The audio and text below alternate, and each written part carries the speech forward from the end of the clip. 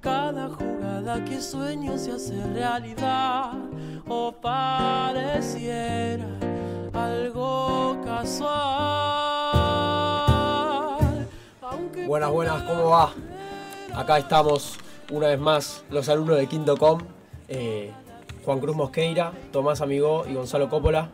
Buenas tardes, ¿cómo andamos? Muy buenas tardes, ¿cómo va?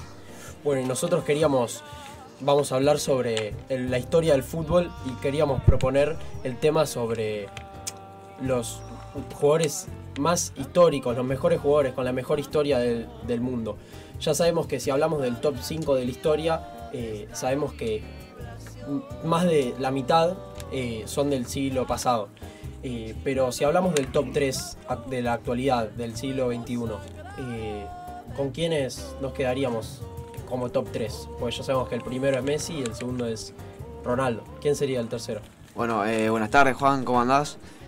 bueno, antes de arrancar igual yo quería decir que hay algunos jugadores que, algunos cracks que jugaron al principio del siglo, por ejemplo Ronaldinho, que yo no, no me veo para hablar de él porque por ejemplo, yo cuando ya nací, él ya tenía un balón de oro, un, mundial, una Champions. Entonces yo elegí un jugador que pude ver, eh, que es un crack, un crack del área, un, nuevo goleador que mete, mete goles de cualquier forma, de cabeza, con la, de pierna mala, pierna buena, de fuera del área. Y bueno, yo creo que está entre los tres, top 3 jugadores históricos de su selección, la cual es Uruguay. Y sí, estoy hablando de Luis Suárez. Me parece un jugador que eh, sí que es verdad que era no tan técnico como otros, porque alguno me podrá decir, bueno, Neymar era más técnico, jugaba más lindo, pero yo creo que Suárez eh, tiene, además no solo de cómo jugaba, sino tiene estadísticas muy buenas, eh, jugó en las mejores ligas, jugó en la Premier, jugó en la Liga Española, eh, ganó Champions, además con Uruguay hizo grandes cosas también. Uruguay que es una selección que no, en el último tiempo no ganó tantas cosas, ganó una Copa América acá en Argentina, en el Monumental, en 2011 y además es el máximo goleador de la historia de los mundiales con, Uruguay. Bueno, ahora de mi parte me gustaría comentar sobre mm, mi jugador, para mí el tercero después de Messi y Ronaldo, como dijo Juan Cruz. Yo me gustaría hablar de un jugador que jugó casi toda su carrera en el Barcelona, tiene 16 temporadas. Luego en 2018 se fue a otro club que queda en Japón. Y sí, estoy hablando de Iniesta. Andrés Iniesta, un jugador que en 16 temporadas logró 9 campeonatos de la Liga Española, 6 Copas del Rey, 7 Supercopas de España, 4 Ligas de Campeones de Champions y 3 Supercopas de Europa. Claro, también hay que hablar de lo importante que fue Andrés Iniesta para el Mundial 2010. Claramente, es eh, un hecho histórico y el más recordado para todos los españoles. Eh, como dijo el relator de Fernando Torres para Cesc y Sex para Iniesta y mete el gol triunfador en el minuto 116 contra Holanda.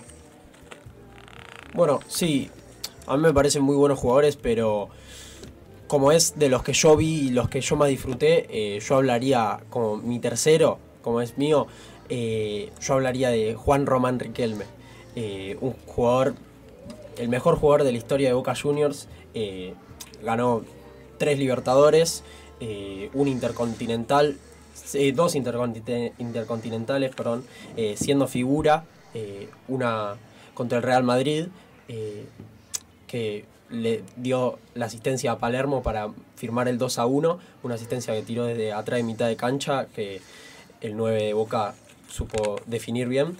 Y nada, sabemos que ganó tres Libertadores, las Intercontinentales, quedó cuatro veces eh, seleccionado como mejor jugador de la Liga, como la Liga Argentina, ganó un Mundial Sub-20, también ganó la Recopa Sudamericana, eh, también cinco títulos en el fútbol argentino y es campeón olímpico. Así que sabemos que él fue un futbolista más que ejemplar para todo el mundo y no podemos olvidar de su magia que tuvo y lo bien que supo tratar la pelota.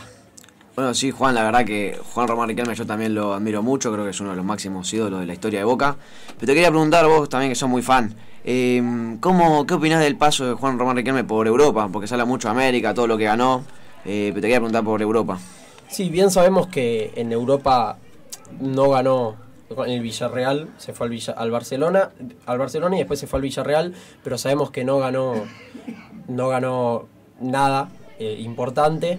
Eh, lo más, lo máximo que llegó fue esa, esa semifinal con el Villarreal, eh, pero que quedó afuera con el Arsenal por ese penal que erró, pero sabemos que en el momento que él jugaba, que era principios de- del 2000, sabemos que el fútbol argentino tenía otro peso, era estaba muy parecido con el, con el fútbol europeo, ya que, como sabemos, le ganaron al Real Madrid, que siempre fue y va a ser el mejor equipo de la historia. Eh, bueno, sí, pero ahora eh, ya hablamos mucho de delanteros, mediocampistas, jugadores, cracks. Pero yo creo que también hay que darle un mérito, un reconocimiento a los mejores arqueros de este siglo XXI, a partir del 2000. Y yo quiero arrancar con nada más y nada menos que Manuel Neuer. Campeón de todo, campeón de Mundial, de Champions. Eh, ganó de todo también en la Bundesliga con el Bayern Múnich, que está ahí desde que, desde que empezó a jugar, parece. Eh, además de eso, quedó mm, eh, top 3 balón de oro en 2014, detrás nada más y nada menos que de los dos mejores, Messi y Cristiano. Y eh, además de eso, tenía un muy buen juego de pies y unos increíbles reflejos.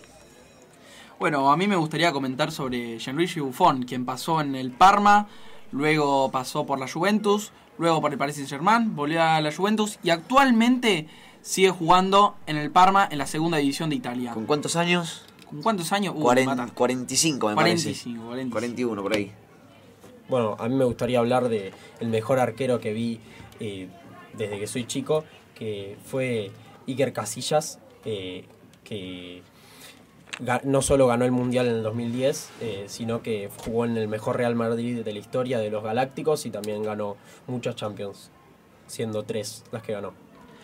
Bueno, eso es todo por hoy. Muchas gracias por escucharnos. A continuación lo dejamos con una canción bien de cancha para arrancar el fin de semana. Chau, chau. Nos vemos. Muchas gracias.